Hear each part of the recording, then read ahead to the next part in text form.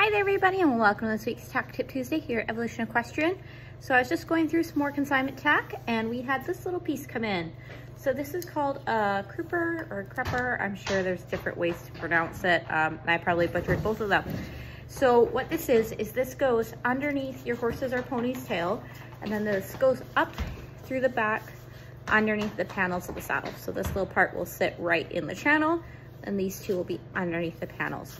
So what it does is it prevents the saddle from sliding forward, um, commonly used on round sausage like ponies. Anyways, so that's what this little piece of tack is that you don't always see often, but when you need it, you definitely need it.